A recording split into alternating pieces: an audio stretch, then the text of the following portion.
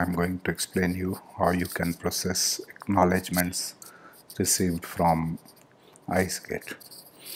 You can upload those acknowledgements into eSeaMan cloud and process. In case of any error or success you can upload the same into the eSeaMan cloud. First you have to get into housekeeping and update response file I'll get some acknowledgements and show you how to upload these files. I'll randomly choose any files acknowledgement files. First I'm going to choose this one. I'll just upload this. So from this acknowledgement file the data is read.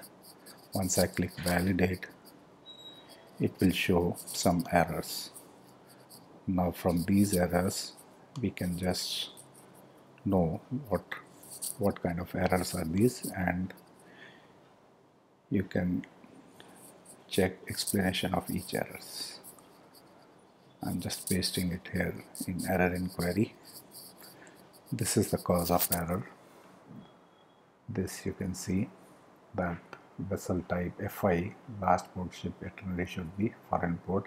In this case the last port must have been given as an Indian Indian port similarly I'll just upload any other file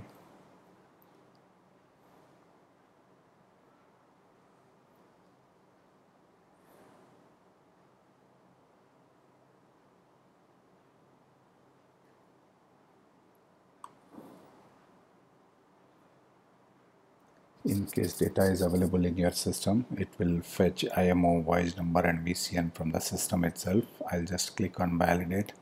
So for this vessel this acknowledgement the data is successful.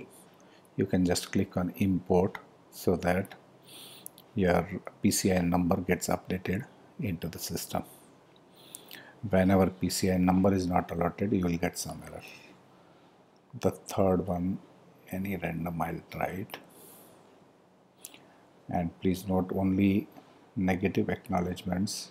Not having schema validation error can be processed here. I'll just upload here. Data is validated. This is the SCI message so no need to import.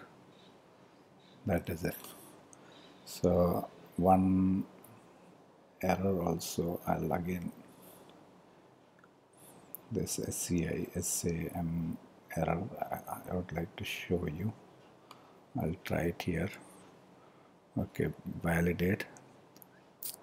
I can just copy the error code get into error inquiry paste it here. SAM is already filed against given rotation number. I'll be updating these possible solutions uh, periodically so check back. Okay that is it